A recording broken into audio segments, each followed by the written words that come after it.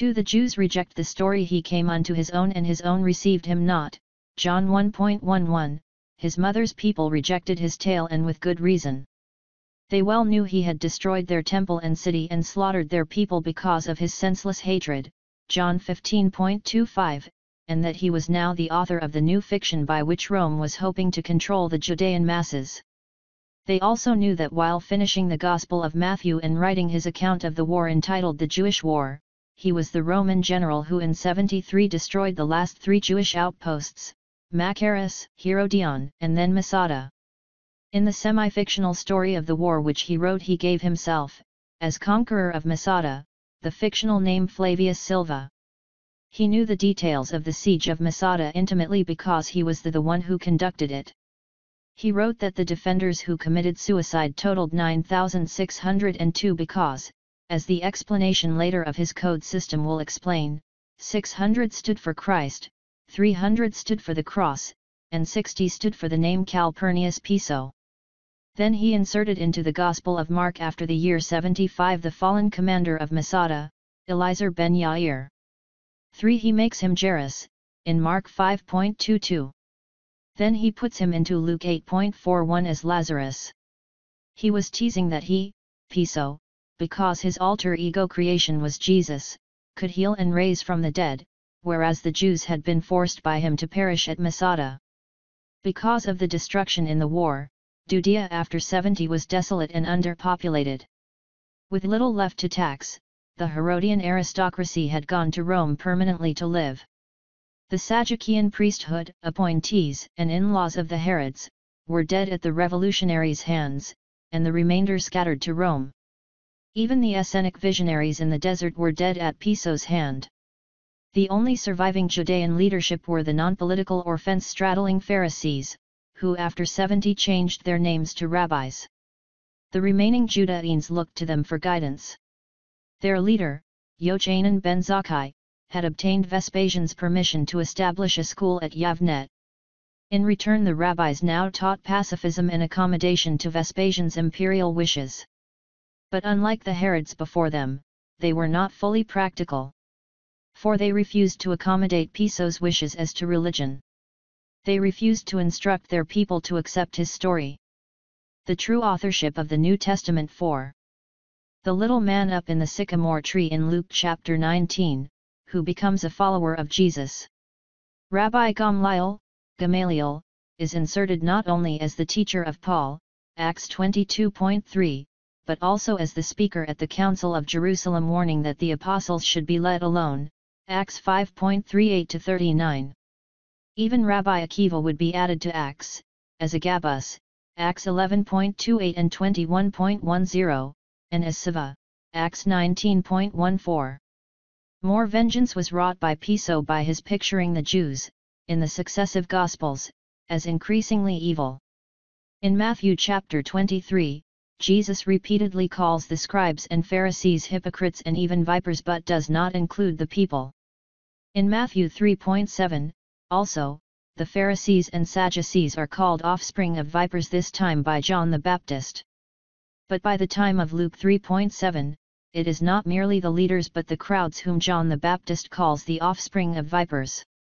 And in Acts 23.12, written 96 to 100, it is the Jews, and not merely the Pharisees or Sadducees, who form conspiracy to kill Paul. By the time of the Gospel of John, year 105, the author, Piso's son, Justus, has Jesus tell the Jews who challenge him, You are of, your, father devil, John 8.44, even when Piso absolves the villains of culpability Father, forgive them, for they know not what they do, Luke 23.34, it is the Roman soldiers, and not the Jews, whom he excuses. It was true that none of the actors knew what because none of the fictional characters could be present to observe the writing of the story. The NT pictures the Jews as the enemies of Jesus, of Paul, and of the message of the Gospel. Piso's son Proclus, writing the Epistle to the Romans, in 11.28 explained the reason why the Jews were being pictured as the enemies of the new believers, as concerning the gospel, they, the Jews, are, enemies because of you, for your sakes. is, in order that the people would believe the story.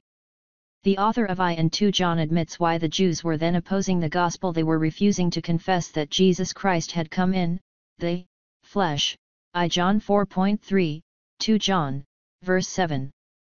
The author's response was to label such opponents as deceivers and antichrist, Ibid.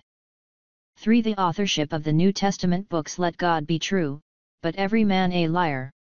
Romans 3.4 the main authors of the New Testament books were Arius Calpurnius Piso, Josephus, his son, Fabius Justus, his granddaughter's husband, Pliny the Younger, and his son, Julius. Following is a list of the actual authorship of each of the books of the New Testament, approximate name of the book year written the original Mark 60 CE Matthew 70 to 75 the present Mark 75 to 80 Luke 85 to 90 John 105 Acts of the Apostles 96 to 100 Romans 100 I Corinthians Galatians and Ephesians 100 to 103 2 Corinthians Ephesians 103 to 105 Colossians 106 to 107 I Timothy 105 2 Timothy 107 the actual author.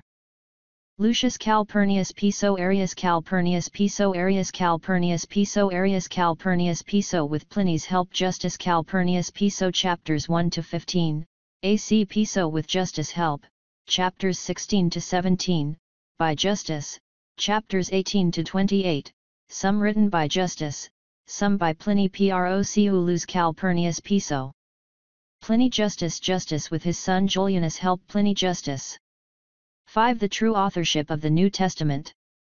Titus 103 to 105 Pliny Philemon 105 to 110 Justus with help of Julianus James 110 Justus I and 2 Peter 110 to 115 Proculus I, 2, and 3 John 110 to 115 Julius Calpurnius Piso Jude 110 to 115 Julius Revelation 136 to 137 Julius Hebrews 140 Flavius Arrianus, Arrian, aka Appian, younger grandson of Piso by Claudia Phoebe the Church Fathers.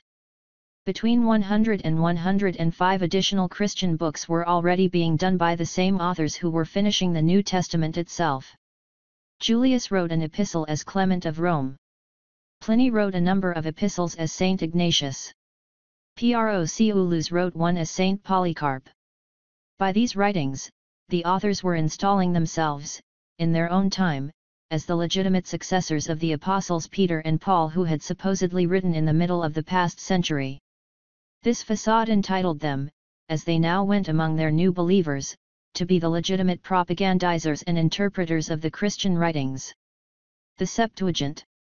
Father, too, was busy. Piso was amending the Greek Septuagint. In his Gospels he had strengthened his story by misquoting places from the Hebrew Scriptures.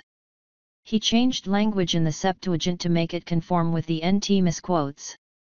That way, there would be an alleged correct translation of the Hebrew scriptures with which the NT quotations agreed the Apocrypha.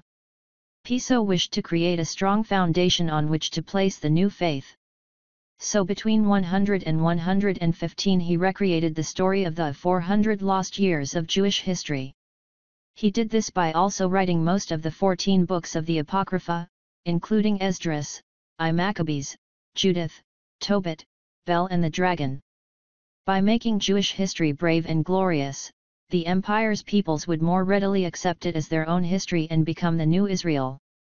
The writings of Arrian Later, between 130 and 150, Arrian, Arrianus, longer form of his grandfather's name Arius, would emulate him.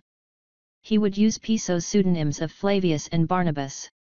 And he would compose, in addition to Hebrews, many Christian books, the Shepherd of Hermas, Barnabas, the Didache, Martyrdom of Polycarp, Epistle to Dionysius, as well as 24 volumes on Roman history, an account of Alexander's campaign into India, the writings of the purported astronomer Ptolemy, and the lecture notes of Epictetus.